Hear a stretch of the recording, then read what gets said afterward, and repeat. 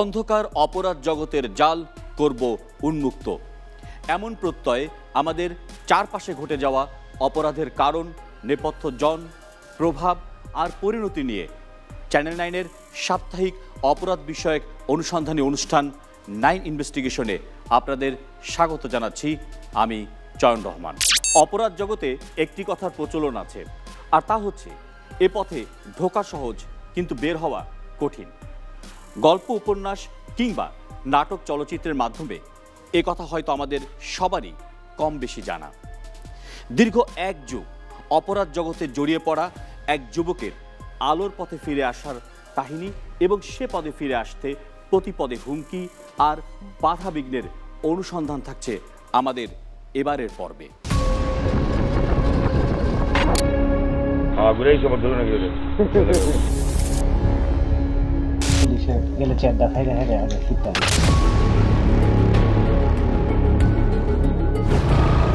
আমি ভালো হইতেছে।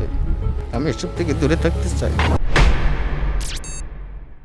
অনুসন্ধানে আমরা এমন একটি এলাকাকে বেছে নিয়েছি যে এলাকাকে ঘিরে গড়ে উঠেছে অন্ধকার জগৎ। সীমান্তবর্তী পাহাড় ঘেঁষা ওই এলাকায় মাদক অস্ত্র আর নিষিদ্ধ সব পণ্যের চোরাচালানকে ঘিরে যে অবস্থার রূপ নিয়েছে, আমরা তারই অনুসন্ধান করব। কথা না বাড়িয়ে চলুন রোমাঞ্চকর সেই অনুসন্ধানে আমরা ডুব দেই।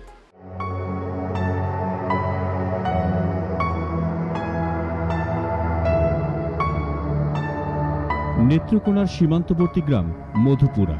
অপরূপ সৌন্দর্যের লীলাভূমি, পাহাড় বেষ্টিত কলমাকান্দা উপজেলার দুর্গম এই মধুপুর গ্রামটি পাহাড়ের আঁকাবাঁকা প্রাকৃতিক নৈসর্গের মাঝে অবস্থান গোবিন্দপুরের বলমাঠ পর্যটক বেশে পাহাড়ের সৌন্দর্য উপভোগ করার প্রথমেই হোঁচট খেতে হলো। উপর হতে দেশীয় অস্ত্র হাতে নিয়ে নেমে আসতে দেখা গেল এক আগন্তুককে। কৌশলে সামনে যেতে নিষেধ করলেন তিনি। ইন্ডিয়াতে? আমরা যে গেলাম, এটা কি সমস্যা?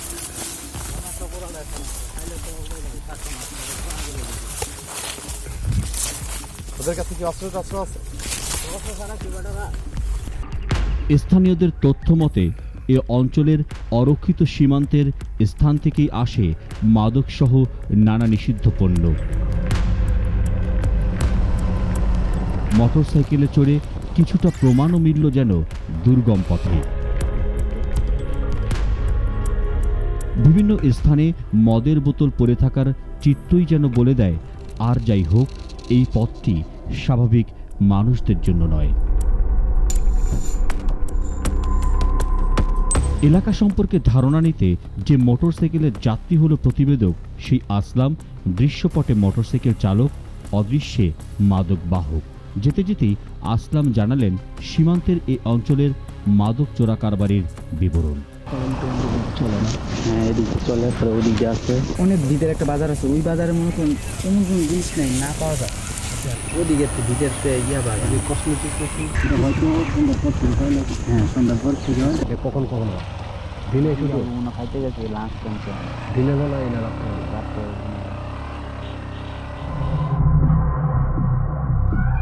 এবার যেতে হবে দুর্গম পাহাড়ে। তাই মোটরসাইকেল নয় পায়ে চলাই যেন ভরসা।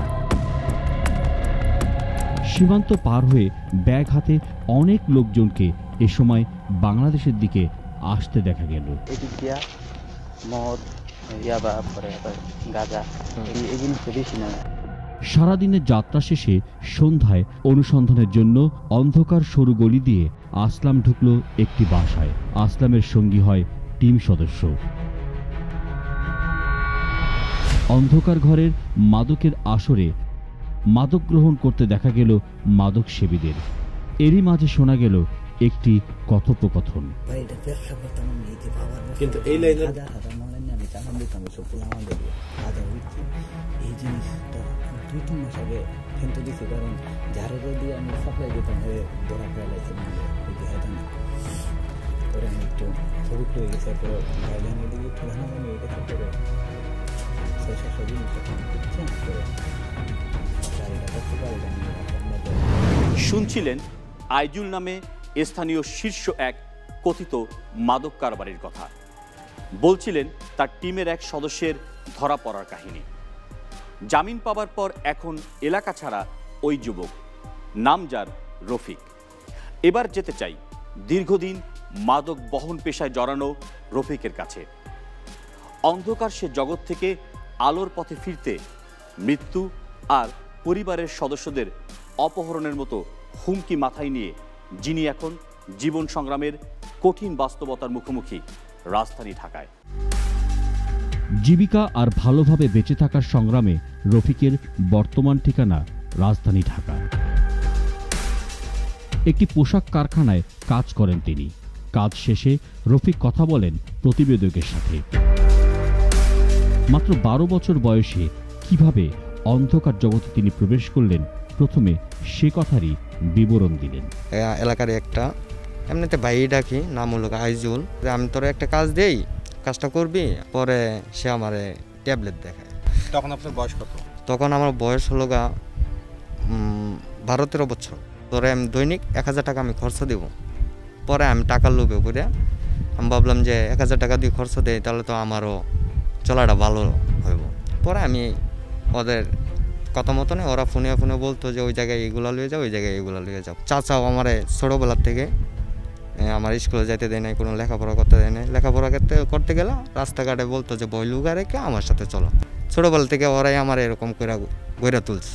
আলাপচারিতা রফিক জানালেন কীভাবে নিষিদ্ধ সব মাদকের চোরাচালান করতেন তিনি।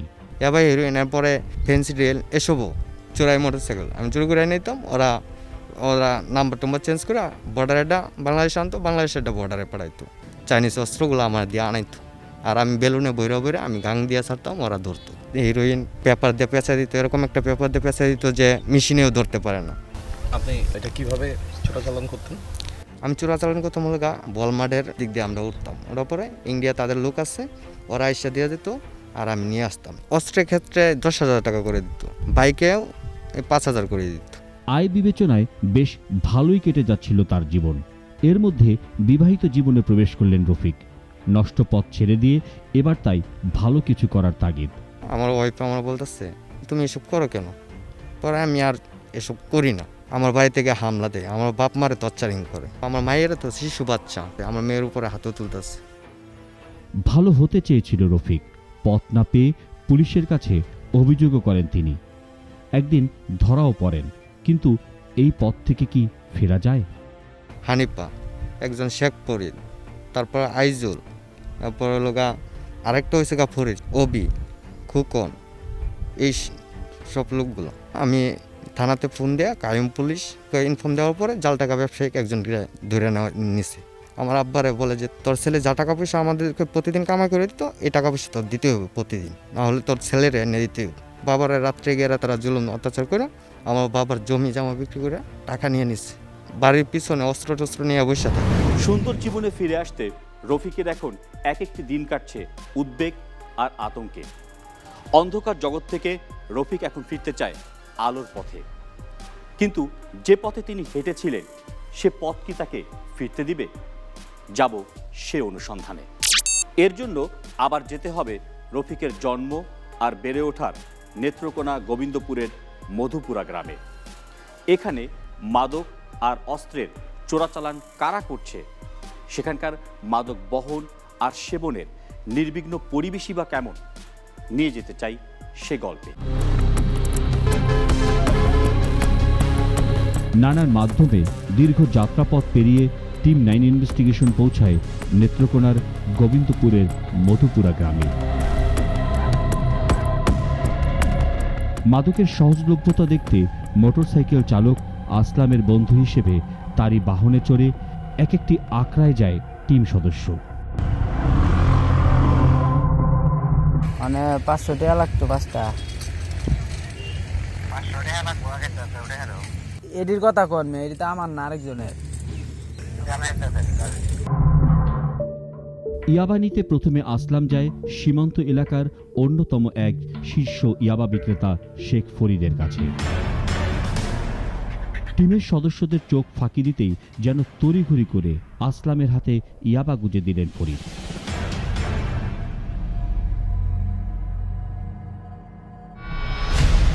সন্ধ্যা ঘনিয়ে আসছে, যাওয়া হলো শফিকুল নামের গাজার আরেক শীর্ষ চোরা কারবারির কাছে।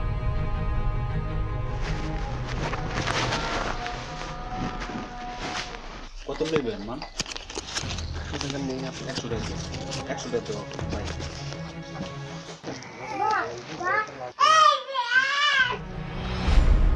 স্ত্রী সন্তানের সামনে অবাধে সেখানে চলছে মাদক বিক্রি। এদিকে দিনে না রাত্রে আনে। বড় থেকে এটা তো মাল নামা তো বেড়া না যারা নামায় এরা একটা দুইটা নামা? দশ কেজি বিশ কেজি তিরিশ কেজি নামা। মাদক কেনা বেচার এসব ছবি দেখলে প্রকৃতির স্বর্গরাজ্য মধুপুরাকে যে কেউই মাদকের স্বর্গরাজ্য বললে বুঝি ভুল করবেন না।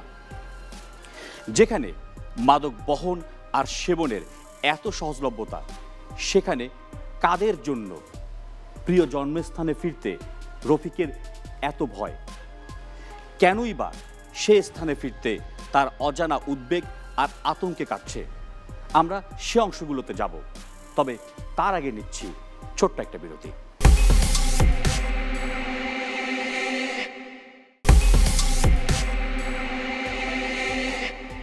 বিরতি থেকে ফিরে সবাইকে আবার স্বাগত নাইন ইনভেস্টিগেশনে।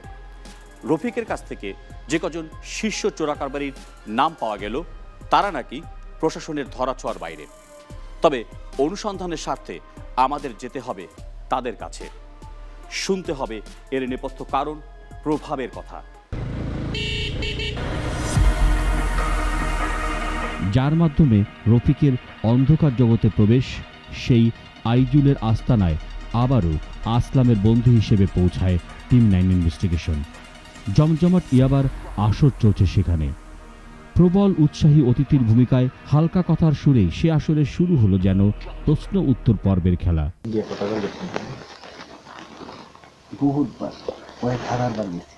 আগে যাইতাম প্রায় এক দুই বছর ধরে কোনো চ্যানেলে প্রতিদিনই যেতাম কিন্তু এমন উপরে গেছি নিজের ঠেং নিজে বই বই ভাবছি ব্যাপারটা না গল্পের ছলে কিছুটা দাম্ভিকতা ফুটে উঠল তার সুরে নেশার জগৎ এক যুগ পার হয়ে গেছে কিন্তু আমি পর্যন্ত পুলিশের হারানো খাই নাই আর যারা তিন বছর ধরে নেশা করে এরা মনে হয় পাঁচবার জেলখানায় লিখাইছে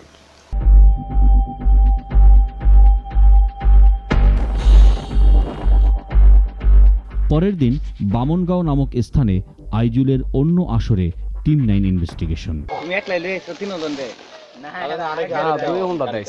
অরিজিনাল জিনিস হইল বার আর এটা খাইলে তো ঘুমোই না। ভালো জিনিস খাইলে ঘুমোইব না কোন আইজুল যে মাদক স্থানীয়ভাবে বিক্রি করেন সেটার মান নিয়ে তার নিজেরই সন্দেহ আছে। তাই ফোন দিলেন তার আরেক সহযোগীর কাছে।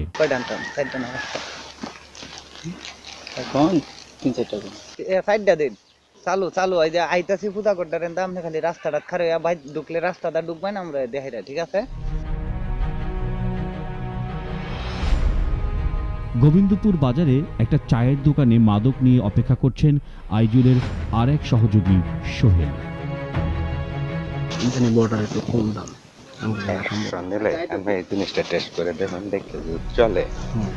মাদকের পরিমাণ বেশি হলে কীভাবে তা নিতে হবে সেটাও বলে দিলেন তিনি। তো দেখো না কিন্তু একটা নেও এই জিনিসটা ঝামেলা। এটি তো আমার আমি এই জুতার তলে হয়ে মূলত কেউ যদি না বইলা দেয় তাইলে আপনি মনে করেন একটা বহু কিছু নিতে ধীরে ধীরে জমে উঠল মধুপুরের অন্যতম শীর্ষ ইয়াবা কারবারি আইজুলের আসর। কিছুটা ভ্রমেই যেন আইজুল এবার বের করলেন তার থলের বিড়াল। আইজুল গেছেন? বহু। যত ধরনের ব্যাগ নিয়ে আইতেন কেউ জিগাইতো না। কথোপকথনে দাম্ভিকতা আর ক্ষমতার জোরের কিছুটা নমুনাও শোনালেন তিনি। আইন প্রশাসনের লোক আমার বাড়িতে ঢুকলে ফিরে কিন্তু ক্ষমতা আর দাম্ভিকতা কার ছত্রছায়ায় চলে? সে প্রশ্নের উত্তরও আইজুল দিলেন কথোপকথনের এক ফাঁকে। আমার দাদা শ্বশুরের উপরে আঙ্গুল তুলে কথা কর মধ্যে লোকে এই মানে ওর মানে যে জায়গায় থাকে এর উপরে কি নাম দিলেন জাইমা দেওয়ানি। ওর আন্ডারে এই প্রশাসন তুলি চলে। এই বেড়ার পারমিশন লইলে মনে করেন যে আপনি এই থানার ওসি সাহেবের পারমিশন লইছেন। মাদক সহ এসব চোরা কারবারির পেছনেও নাকি একজন গডফাদার থাকে। সবার নাম বললেও রফিক প্রাণের ভয় তখন বলেননি শুধু সেই কথিত গডফাদারের নাম। পুরো কলমাকান্দায় চোরা কারবারি আর তাদের গডফাদার নিয়ে সপ্তাহখানেকের নানা পর্যায়ের অনুসন্ধান ও স্থানীয় সূত্র বলছে সাবেক ইউপি চেয়ারম্যান চাইম্মা দেওয়ান শুধু আইজুলেরই গডফাদার নন। সমস্ত চোরা কারবারিদের কথিত গডফাদার তিনি। সীমান্তে প্রশাসনিক কর্মকর্তাদের ম্যানেজ করে কীভাবে চাইম্মা দেওয়ান তার অপরাধ জগৎ সামলান এর কিছুটা ব্যাখ্যা দিলেন তারই শিষ্য আইজুল। ভোটারের লাইনম্যান আছে না? লাইনম্যান থেকে মাল পাইতেছে না হ্যাঁ। যত মাল ব্যবসায়ীতে পায়। না দেয়। পুলিশে তো আগে মনে করেন যে হায় হায়রা হায়রা প্রশ্ন করবে। এরকম পোলা একটা, এরকম এরকম আপনার এলাকায়। একটা রিপোর্ট কৈফত একজনের নামে দিলে মনে করেন যে থানার থেকে হেরে ফোন দিব যে ভাই, উমুক উমুক নামে এইরকম ঝামেলা। বুঝছেন বিষয়টা, থানার পুলিশে পাঠাইবো আপনার হের কাছে, তখন আপনি কই যাবেন?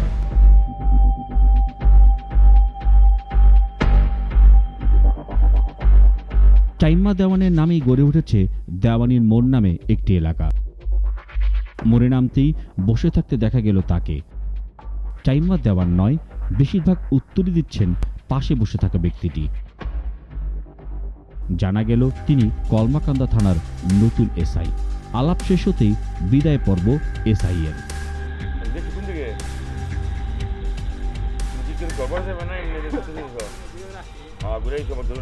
পুলিশকে আসামি ধরতে নিষেধ করলেন চাইম্মা দেওয়ান। কথোপকথনে চাইম্মার কণ্ঠে পাওয়া গেল প্রভাবের সুর। আমি এরকম চেয়ারম্যান ওনারা কি পুলিশের লোক? আমি চিনি না। আমার কাছে জিজ্ঞেস করছে আমার নাম জিজ্ঞেস যে দেওয়ানি শক্তি আমি যদি তো চা খাওয়াই এই জন্য ওপরে দিলাম আবার ধরে না যায় আমি বাড়িতে আছি। ধরলে কম দিয়ে দিব। বুঝুন আসামি তো চুকে টাকা লাই তোমাকে টাকা লাই দিয়ে ধরলেই তো কাউ মাছ শুরু হয়ে যায়। প্রশংসা শুনে নিজের কিছু ক্ষমতার দাপট দেখাতে ভুললেন না যেন চোরা কারবারিদের কথিত শীর্ষ এই গডফাদার। লোকজন আসবে তো। লোকাল লোক আমাদের যতটা সাপোর্ট দিবে লোকাল লোক সাপোর্ট দিলে সাপোর্ট দিতে পারে আমি বলে দেওয়ার পর আপনাদের কোনো ঝামেলা হবে আরেকটা বিষয় দেখলাম অন্যান্য বর্ডার তো আমরা অনেক জায়গায় গেছি। এই বর্ডারটা খুব নীরব একটা বর্ডার খুব খুব চেষ্টা রাখি আপনি করতে রাখার জন্য। মানে খুবই নীরব বর্ডার ওইভাবে যে মাসে নাকি একটাও মামলা হয় না। নামা তো দেখি না আর কি।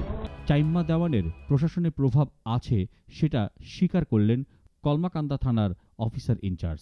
তার পক্ষে কিছুটা সাফাইও গাইলেন তিনি। অপরাধ বলতে টুকটাক কিছু মাদকের আনাগোনা আছে। এছাড়া আদার্স কোনো খুব একটা অপরাধ নাই বা কোনো তথ্য নাই। সে এখানে প্রভাবশালী সাবেক চেয়ারম্যান এমনি সে এলাকায় বেশ ওয়েল নোন যত গেলে তার সাথে কথাবার্তা সবারই হয়। আমার সাথে সম্পর্ক আছে, পরিচয় আছে। তাহলে বুঝুন অবস্থা।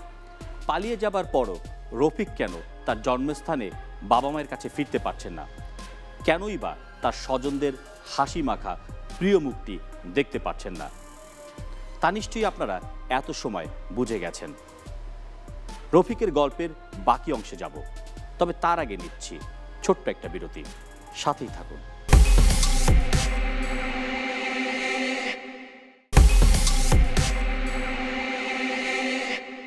বিরতি থেকে ফিরে আবার স্বাগত চ্যানেল নাইনের অপরাধ বিষয়ক সাপ্তাহিক অনুষ্ঠান নাইন ইনভেস্টিগেশনে।